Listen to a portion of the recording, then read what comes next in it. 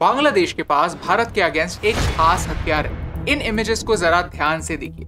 बांग्लादेश का ये secret weapon इन्हीं इमेजेस में छुपा हुआ है और वो है फ़ैशन कपड़े टेक्सटाइल्स जिनकी मदद से बांग्लादेश भारत में आने वाले जॉब्स खा रहा है। Zara H N M Levi's जैसे मल्टी मिलियन डॉलर कंपनीज़ अपने कपड़े बांग्लादेश में बनाना पसंद करते हैं। ये बांग्लादेश के लिए गुड न्यूज़ है लेकिन भारत के लिए बैड न्यूज़ क्रिकेट में बांग्लादेश हमसे सिर्फ़ एक रन की मार्जिन से हारता है। लेकिन जब एक्सपोर्ट्स की बात आती है तो बांग्लादेश हमें 100 या 200 परसेंट के मार्जिन से हराता है। कैसे?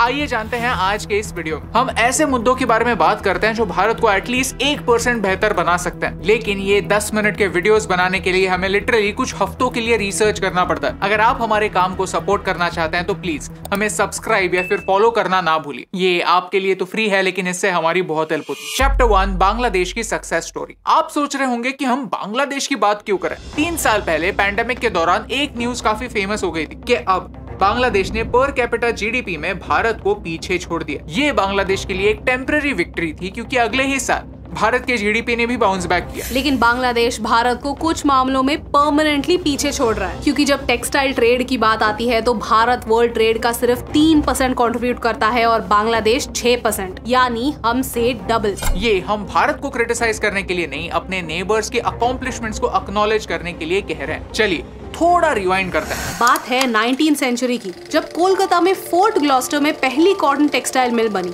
फिर कुछ ही सालों बाद मुंबई में Bombay spinning and weaving company बनी। ब्रिटिशों के जमाने में कानपुर अहमदाबाद फरीदाबाद मुंबई जैसे शहरों को मैनचेस्टर ऑफ़ द ईस्ट कहा जाता था। और उनके आने से पहले भी कई सेंचुरीज के लिए भारत का सबसे बड़ा एक्सपोर्ट हुआ करता था कॉटन आज का बांग्लादेश यानी उस जमाने का ईस्ट बंगाल अपने सॉफ्ट मसलिन क्लॉथ के लिए फ़ेमस था।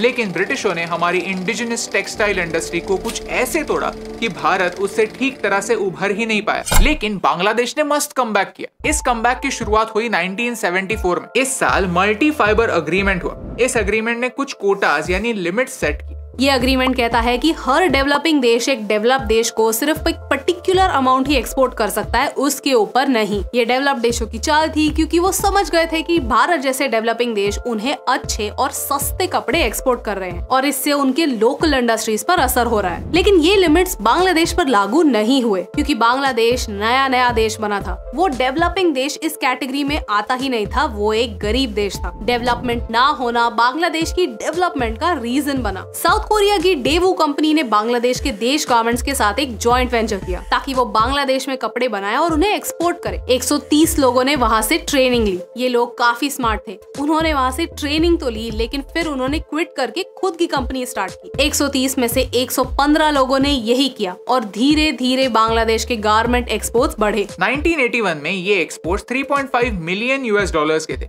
और 2007 तक ये 10.7 बिलियन हो गए। Billion with a B. That's a growth of 3 lakh 5000 percent in just 26 years. ये पॉसिबल हुआ इस कोटा सिस्टम की वजह से, जिसने चाइना भारत और दूसरे डेवलपिंग देशों पर लिमिट्स लगाए, जिनसे बांग्लादेश फ्री था ये सिस्टम 1995 में खत्म हो गया लोगों ने सोचा कि अब बांग्लादेश की अनलिमिटेड ग्रोथ पर सीलिंग लग जाएगा और बाकी देशों को भी चांस मिलेगा लेकिन हुआ कुछ और meet America professional trouble maker इन्होंने बांग्लादेश को लीस्ट डेवलपिंग नेशन इस कैटेगरी में डाल दिया। सुनकर बुरा लगता है, लेकिन एक्चुअली ये बांग्लादेश के लिए गुड न्यूज़ थी, क्योंकि फिर उन्हें ट्रेड में प्रेफरेंस मिलने लगा। इसे जनरलाइज सिस्टम ऑफ़ प्रेफरेंस कहते हैं। आज होता यह है कि उनके एक्सपोर्ट्स पर कोई ड्यूटी यानी टैक्स लगता ही नहीं। तो होता क्या है? उनके कपड़े और सस्ते होते हैं। डेवलप्ड देशों के लिए उनके कपड़े खरीदना और आसान हो जाता। है इसी तरह, सब कपड़े बन जाते हैं मेड इन बांग्लादेश ईयू ने भी इसमें अमेरिका का साथ दिया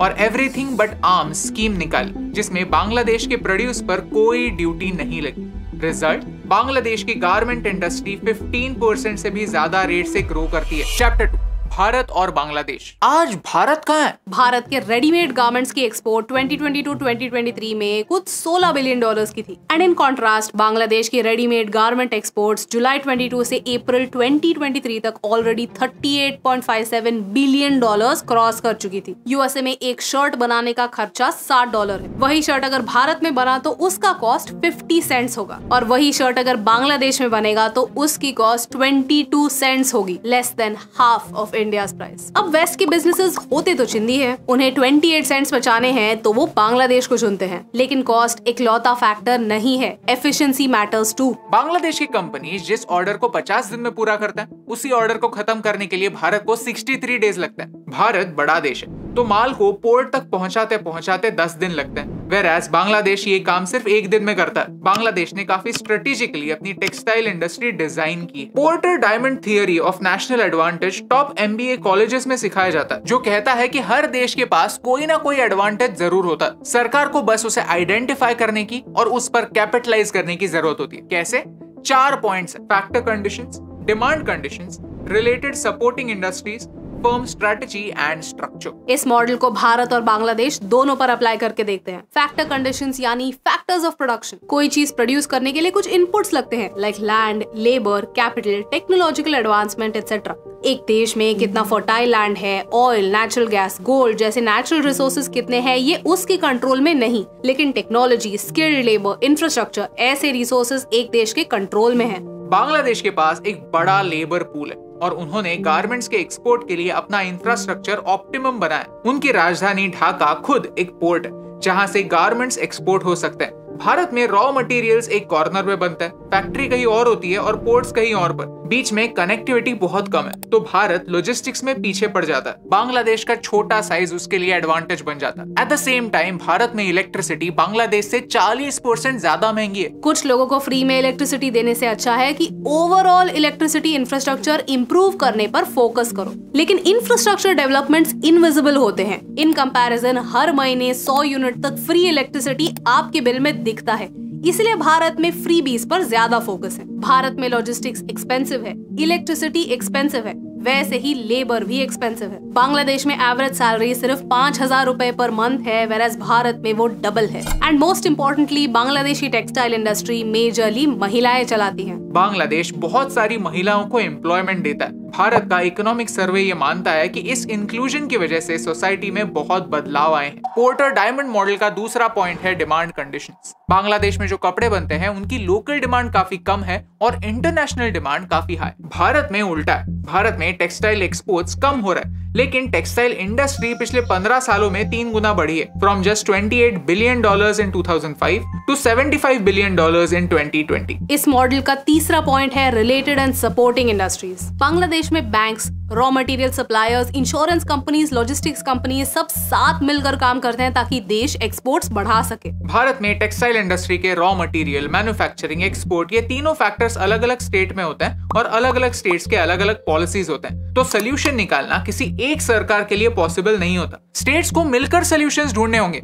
और इसमें पॉलिटिशियंस का क्या फ़ायदा? तो कोई एक्शन नहीं ली जाती। टेक्सटाइल कंपनीज़ कहती है कि उन्हें भारत में लोन लेना महँगा पड़ता। है पोर्टर डायमंड मॉडल का आखिरी पॉइंट है firm strategy structure and rivalry ये मेनली एक सेक्टर की कंपनीज़ को देखता है। कंपनीज़ कितनी बड़ी है, कितने एम्प्लॉयज़ है कंपनी में और कंपनीज़ के बीच में राइवलरी कितनी है। बांग्लादेश के टेक्सटाइल कंपनीज़ में ऑन एन एवरेज 797 वर्कर्स हैं। भारत में ये नंबर 240 है। इसका एक रीजन शायद है हमारे लेबर लॉज कई सारी कंपनीज़ रेगुलेशंस अवॉइड करने के लिए छोटे रहते हैं एंड दिस इम्पैक्ट्स प्रोडक्टिविटी अगर आपने स्कूल या कॉलेज में इकोनॉमिक्स पढ़ा होगा तो ये टर्म ज़रूर सुनी होगी. इकोनॉमीज ऑफ़ स्केल मतलब ये कि एक कंपनी को प्रोडक्शन एफिशिएंसी बढ़ाने से कॉस्ट एडवांटेजेस मिलते हैं. प्रोडक्शन बढ़ाने से कॉस्ट कम होता है. फॉर एग्ज़ाम्पल अगर आपको टी शर्ट बनाने हैं तो फिर आप रॉ मटेरियल्स खरीदेंगे फैक्ट्री लगाएँगे, लोगों को हायर करेंगे. और इतना सब करने के बाद अगर आपने सिर्फ़ एक टी शर्ट बनाया तो उस एक टी शर्ट की कॉस्ट क्या होगी?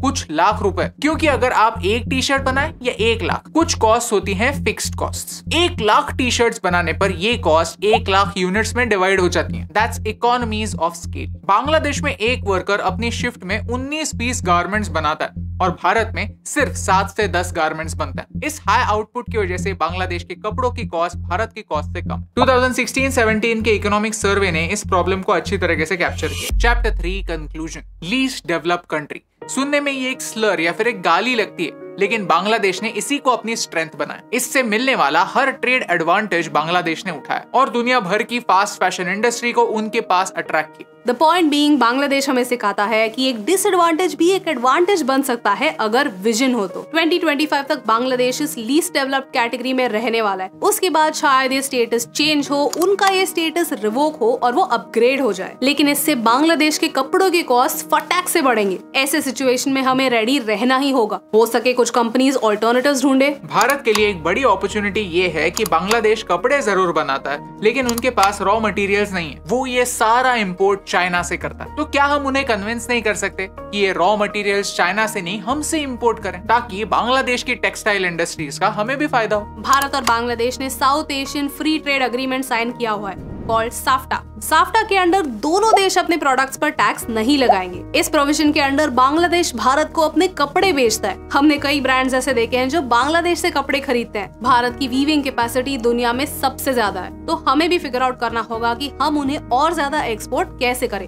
एंड मोस्ट इम्पोर्टेंटली हमें women participation in work force बढ़ाना होगा। इस वीडियो की शुरुआत में हमने एक सीक्रेट वेपन की बात की। एक्चुअली ये वेपन कोई इंडस्ट्री नहीं, वो है नारी शक्ति। सोचिए क्या बांग्लादेश एक कंजर्वेटिव सोसाइटी नहीं? बिल्कुल है। लेकिन जब इकोनॉमिक्स की बात आती है तो सारे फैमिलीज़ अपने रिग्रेसिव विचारों को पीछे छोड़ महिलाओं को काम पर भेजते हैं। ये एक सुपर पावर है, क्योंकि इससे आपके पॉपुलेशन का 50 परसेंट वेस्ट नहीं होता। एक होम मेकर होना एक बहुत बड़ी बात है, और हम होम मेकर्स की बहुत इज़्ज़त करते हैं। अगर हमारी माँ और दादी स्कूल से आने के बाद हमारे लिए घर पर ना होती तो एक सपोर्ट सिस्टम नहीं बनती। तो शायद हम आज जहाँ हैं, वहाँ तक नहीं पहुँच पाते। अक्सर औरतों को शादी करने के बाद अपना जॉब छोड़ना पड़ता है। उनके हस्बैंड्स कहते हैं, हम कमा रहे हैं, तुम्हें काम करने की क्या ज़रूरत? ये एटीट्यूड हमारे देश को पीछे खींच रहा है। लेकिन एट द सेम टाइम ये समझना ज़रूरी है कि कुछ औरतों के लिए एक होम मेकर बनना एक चॉइस होती है और कुछ लोगों के लिए फोर्सफुली थोपी हुई ज़िम्मेदारी। चलिए, किसी और बात के लिए नहीं तो फिर देश की इकोनॉमी के लिए ही सही।